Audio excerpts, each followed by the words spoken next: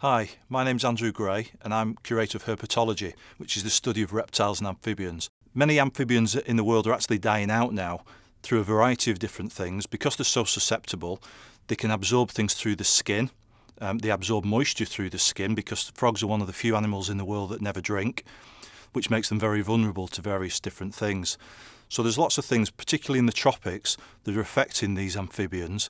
Um, one of them is a fungus that um, is actually accounting for about a third of the world's amphibians now are threatened because of this particular fungus. And one species, this species, the golden toad, became extinct within one year. One year there was 1,500, the next year there was none at all. Nobody really knows why this particular species died off, but it's thought to be a combination of climate change and also this fungus that I've been speaking about. The skin of a frog is so important to it, and I'd just like to show you one particular species that really relies on its skin to stay alive. It's called the splendid leaf frog, and this frog is a beautiful frog. It's this bright green, it's got almost tiger stripe markings down its flanks, but also in exactly the same way as all the other frogs, it's got very, very delicate skin.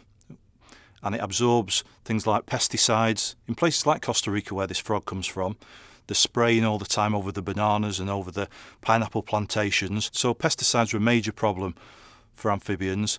And climate change is also, um, because in the lowland areas, it's warming up because of global warming.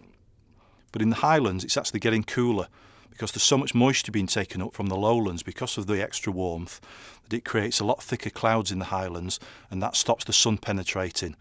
And these frogs, they need the sun. They sunbathe and that helps them to clear themselves of the chytrid fungus.